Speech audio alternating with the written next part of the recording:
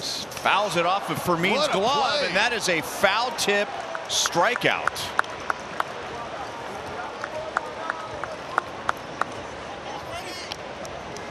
Talk about not giving up. Look at this. You foul the ball off.